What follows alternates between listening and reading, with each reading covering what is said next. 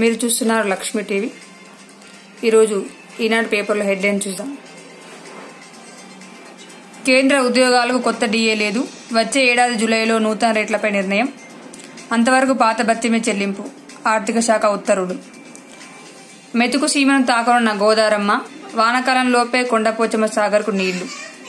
ఎత్తిపోతల విద్యుత్ పనులపై సీఎం కేసీఆర్ ఆరా. ట్రాన్స్కో సీఎండీ ప్రభాకర్ రావుకు ఫోను. అక్కారం మార్కూర్కు లిఫ్ట్లను ఆకస్మిక తనిఖీ చేసిన సీఎండి విద్యుత్ శాఖ పనితీరుకు ముఖ్యమంత్రి అభినందనలు. ప్రాజెక్టులను దీర్ఘకాలం ఆపలేమంటున్నటువంటి హైకోర్టు. సంచుల కొరత అధిగమిస్తామంటున్న గంగుల కమలాకర్. కరోనా కేసులు తగ్గుతున్నాయంటున్న ఈటల రాజేందర్. కొత్త కంటైన్మెంట్ ప్రాంతాలకే పరిమితం అంటున్న ఈటల రాజేందర్. అమెరికాలో ఉపశమన ఛాయలు. క్రమంగా తగ్గుముఖం పడుతున్న మరణాలు. బ్రిటన్లో ఇప్పటి వరకు నాలుగు వందల తొంభై రెండు మంది భారత సంతతి వ్యక్తుల మృతి. సింగపూర్లో పదహారు వందల మందికి పైగా భారతీయులకు కరోనా. పంతొమ్మిది సార్లు పాజిటివ్ ఇరవై సార్లు నెగిటివ్. నలభై రోజుల తర్వాత కేరళ మహిళకు ఊరట మరోసారి నెగిటివ్ వస్తే వ్యాధి నుంచి విముక్తి. కరోనాపై పోరుకు ప్రథమ మహిళ చేయుత. కరోనా వైరస్పై భారత్ చేస్తున్న పోరాటంలో రాష్ట్రపతి రామ్నాథ్ కోవింద్ గారి సతీమణి సవితా కోవింద్ పాల్పంచుకున్నారు తమ అధికార నివాసంలో స్వయంగా మాస్కులు కుట్టారు. ఆ సమయంలో ఆమె మాస్క్ ధరించారు కూడా. ప్రథమ మహిళ కుట్టిన మాస్కులను దేశ రాజధాని ఢిల్లీలోని వివిధ ఆశ్రయ కేంద్రాల్లో ఉండేవారికి అందజేస్తున్నారు. దేశంలోనే తొలి సంచార వైరాలజీ ల్యాబ్ ప్రారంభించిన కేంద్ర రక్షణ మంత్రి రాజ్నాథ్ సింగ్ గారు. అభివృద్ధి చేసిన డిఆర్డీఓ ఆర్సీఐ రోజుకు వెయ్యికి పైగా కరోనా ప్రశ్న అవకాశం. కరోనా విలయం. ప్రపంచవ్యాప్తంగా కరోనా కేసులు ఇలా ఉన్నాయి. కొత్త కేసులు యాభై తొమ్మిది వేల ఏడు వందల రెండు. దేశంలో కొత్త కేసులు పన్నెండు వేల ఇరవై తొమ్మిది.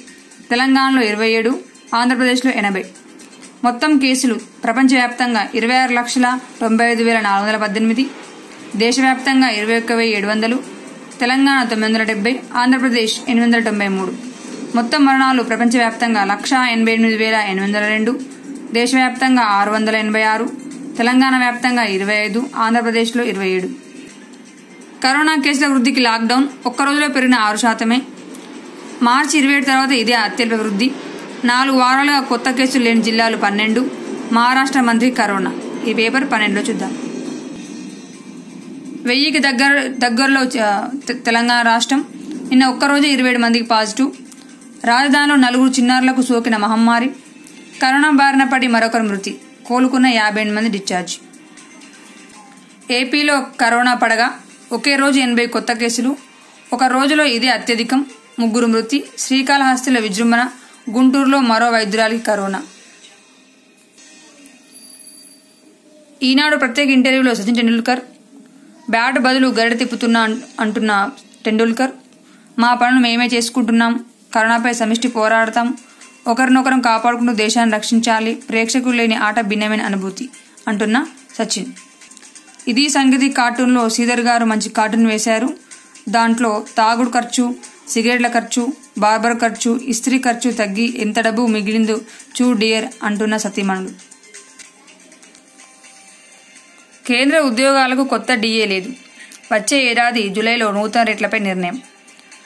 అంతవరకు పాత భత్యమే చెల్లింపు ఆర్థిక శాఖ ఉత్తర్వులు చేసింది. అంటే దేశవ్యాప్తంగా నలభై తొమ్మిది పాయింట్ ఇరవై ఆరు లక్షల మంది ఉద్యోగులు ఉన్నారు అరవై ఒకటి పాయింట్ పదిహేడు లక్షల మంది పెన్షన్లు ఉన్నారు డిఏ పెంపుదల నిలిపివేత కారణంగా కేంద్ర ప్రభుత్వానికి ఎనిమిది వేల కోట్ల ఆదాయం ఆదా అవుతుందని అంచనా.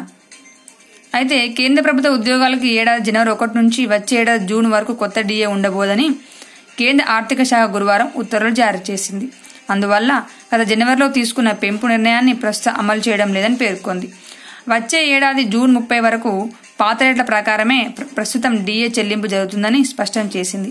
రెండు వేల ఇరవై ఒకటి జూలైలో కొత్త డిఏపై కేంద్ర ప్రభుత్వ నిర్ణయం తీసుకున్న తర్వాత రెండు వేల ఇరవై జనవరి రెండు వేల ఇరవై జూలై రెండు వేల ఇరవై ఒకటి జనవరి నెల వరకు వర్తించే రేట్లను దాంతో జత చేయనట్లు తెలిపింది.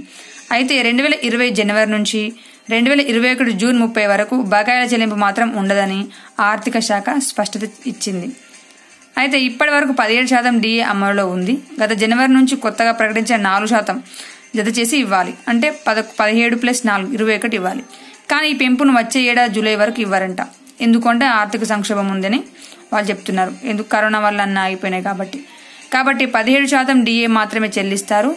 అయితే వచ్చే ఏడాది జూలైలో కొత్త డిఏను ప్రకటించినప్పుడు దాన్ని ఇప్పుడు ఇప్పుడున్న పదిహేడుకి మాత్రమే జత చేయకుండా ప్రస్తుతం ప్రకటించినప్పటికీ అప్- అమలు అమలు చేయని నాలుగు శాతాన్ని పాత ఆధారంగా కలుపుకొని కొత్త శాతాన్ని నిర్ధారిస్తారు. అంటే ఇప్పుడు ట్వంటీ వన్ పర్సెంటేజ్ ఉంది.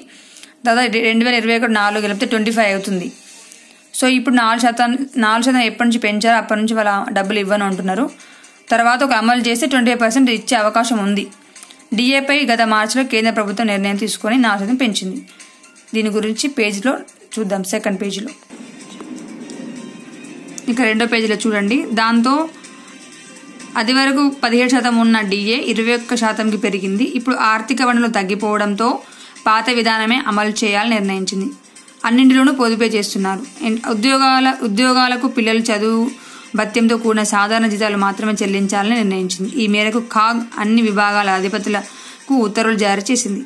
కేంద్ర ఆర్థిక శాఖ విజ్ఞప్తి మేరకు ఈ చర్యలు తీసుకుంటున్నట్టు వివరించింది. జీతం బకాయిలు ఎల్టీసీ ఆజిత సెలవు లాంటి వ- వసతులను హెడ్ క్వార్టర్స్ అనుమతులు లేకుండా ఈ ఏడాది జూన్ వరకు చెల్లించవద్దని పేర్కొంది.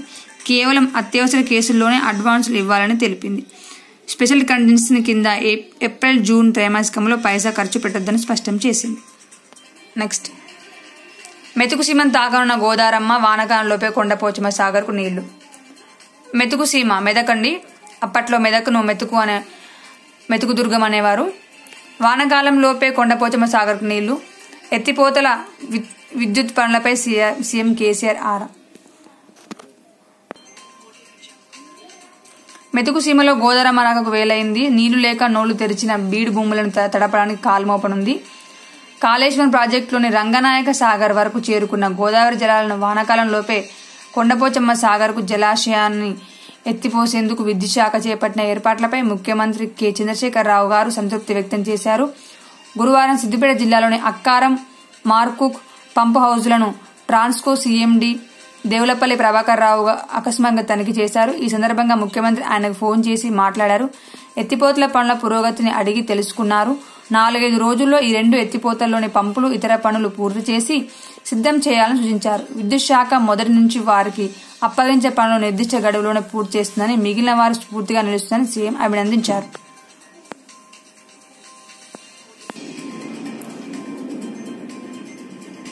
మెతుకు సీమను తాగనున్న గోదారమ్మ ఫస్ట్ పేజ్ తరువాయి. కాళేశ్వరం ప్రాజెక్టు నీటిని కొండపోచమ్మ సాగర్ రిజర్వాయర్కు తరలించేందుకు అవసరమైన అన్ని లిఫ్ట్లను నాలుగైదు రోజుల్లోనే సిద్ధం చేస్తామని ట్రాన్స్కో సీఎండి తెలిపారు. సిద్దిపేట జిల్లాలో ఇరవై ఏడు మెగావాట్ల సామర్థ్యం కలిగిన ఆరు పంపులతో నిర్మిస్తున్న అక్కారం ముప్పై నాలుగు మెగావాట్ల సామర్థ్యం కలిగిన ఆరు పంపులతో నిర్మిస్తున్న మార్కుక్ పంపు హౌస్ పనులను ఆయన పరిశీలించారు. ఈ సందర్భంగా సిబ్బందికి పలు సూచనలు చేశారు. కరోనా వైరస్ వ్యాప్తి చెందకుండా వ్యక్తిగత దూరం పాటిస్తూ పనులు వేగంగా పూర్తి చేయాలని సూచించారు. ఈ వర్షకాలంలో మల్లన సాగర్ కొండపోచమ్మ సాగర్ జలాశయాలు నింపాలని ముఖ్యమంత్రి గారు గట్టి పట్టుదలతో ఉన్నారని తెలిపారు. నాలుగు బృందాలు రాత్రింబవులు పనిచేస్తున్నాయని తుది పరీక్షలు పూర్తి చేసి నీటిని ఎత్తిపోయినట్లు పేర్కొన్నారు. ట్రాన్స్కో జేఎండిసి శ్రీనివాసరావు గారు సంచాలకుడు J. Suryaprakash ED PV Prabhakar Rao పర్యవేక్షక engineer Anjaneyulu వేరు పాల్గొన్నారు. ప్రత్యేక అనుమతులతో చేరుకున్న నిపుణుల బృందం. పంప్ హౌజ్ల కేబుల్ పనులు చేపట్టిన రాహుల్ కేబుల్ ఇంజనీరింగ్ సంస్థ నిపుణులు లాక్డౌన్ నేపథ్యంలో ప్రత్యేక అనుమతులతో ఈ నెల ఇరవై ఒకటి తేదీన సిద్దిపేటకు వచ్చారు. వారు ముంబైలో చిక్కుకుపోగా పనుల ప్రాధాన్యాన్ని తెలియజేస్తూ ట్రాన్స్కో సీఎండీ ప్రభాకర్ రావు గారు డీజీపీ మహేందర్ రెడ్డి గారికి సహకారం అందించాలని లేఖ రాశారు. స్పందించిన డీజీపీ మహారాష్ట్ర డీజీపీకి లేఖ రాసి ఫోన్ ద్వారా అనుమతి కోవడంతో నిపుణులు వేగంగా చేరుకున్నారు. అమెరికాలో ఉపశమన ఛాయలు. కరోనా మహమ్మారి దెబ్బకు ఇన్నాళ్ళు దిగు చిగురుటాకుల వణికిన అగ్రరాజ్యం అమెరికాలో క్రమంగా ఉపశమన ఛాయలు కనిపిస్తున్నాయి. వైరస్ వ్యాప్తి పూర్తి స్థాయిలో నియంత్రణలోకి రాకపోయినా గత వారంతో పోలిస్తే కొత్త కేసులు మరణాల సంఖ్య తక్కువగా నమోదైంది. కోవిడ్ తీవ్రతకు ఆ దేశంలో తాజాగా ఇరవై నాలుగు గంటల వ్యవధిలో పదిహేడు వందల ముప్పై ఎనిమిది మంది మృత్యువాత పడ్డారు. అంతకు ముందు ఇరవై నాలుగు గంటలు ఇరవై ఇరవై ఐదు వందలకు పైగా మరణాలు చోటు చేసుకున్నాయి. వైరస్ విజృంభణ కాస్త తగ్గుముఖం పట్టడంతో దేశ ఆర్థిక వ్యవస్థలో తిరిగి జవసత్యాలు నింపే ప్రక్రియకు ఆయా రాష్ట్రాలు శ్రీకారం చుట్టబడుతున్నాయి. కరోనా విలయం గురించి చూసినట్టయితే America Spain Italy Germany Britain Iran China Russia Brazil Belgium Bharat గురించి చూద్దాం ఒకసారి. అమెరికా ఫస్ట్ ప్లేస్లో ఉంది. గురువారం నమోదైన కేసులు పదిహేడు వేల నాలుగు వందల ముప్పై ఒకటి. అమెరికాలో. అదే స్పెయిన్లో అయితే నాలుగు వేల ఆరు వందల ముప్పై ఐదు. ఇటలీ రెండు వేల ఆరు వందల నలభై ఆరు. జర్మనీ ఆరు వందల ముప్పై ఏడు. బ్రిటన్ నాలుగు వేల ఐదు వందల ఎనభై మూడు. ఇరాన్ వెయ్యి థర్ ముప్పై. చైనా పది రష్యా నాలుగు వేల ఏడు వందల డెబ్బై నాలుగు బ్రెజిల్ తొమ్మిది వందల నలభై నాలుగు బెల్జియం తొమ్మిది వందల ఎనిమిది భారత్లో ఒక్కరోజే పన్నెండు వందల ఇరవై తొమ్మిది ప్రపంచవ్యాప్తంగా యాభై తొమ్మిది వేల ఏడు వందల రెండు. అదే మొత్తం కేసులు అమెరికాలో అయితే ఎనిమిది లక్షల అరవై ఆరు వేల నూట నలభై ఎనిమిది మరి మరణాలు నలభై ఎనిమిది వేల ఎనిమిది వందల అరవై ఎనిమిది. స్పెయిన్ అయితే రెండు లక్షల పదమూడు వేల ఇరవై నాలుగు మంది కేసులున్నాయి. మరణాలు ఇరవై రెండు వేల నూట యాభై ఏడు. ఇట్లా కౌంట్ చేసుకుంటూ పోతే చెప్పడం కష్టం. అదే దేశవ్యాప్తంగా మొ మొట్టమొదటి స్థానంలో ఉన్నది ఏది అంటే ప్రపంచవ్యాప్తంగా అమెరికా మొదటి స్థానంలో ఉంది రెండో స్థానం స్పెయిన్ ఉంది మూడో స్థానం ఇటలీ ఉంది నాలుగో స్థానం జర్మనీ ఉంది ఐదో స్థానం బ్రిటన్ ఉంది ఆరో స్థానం ఇరాన్ ఉంది ఏడు చైనా ఎనిమిది రష్యా తొమ్మిది బ్రెజిల్ పది బెల్జియం పదకొండవది భారత్. ప్రపంచవ్యాప్తంగా యాభై తొమ్మిది వేల ఏడు వందల రెండు నమోదైన కేసులు. మొత్తం టోటల్గా నమోదైన కేసులు ఇరవై ఆరు లక్షల తొంభై ఐదు వేల నాలుగు వందల పద్దెనిమిది చనిపోయిన వారు లక్ష ఎనభై ఎనిమిది వేల ఎనిమిది వందల రెండు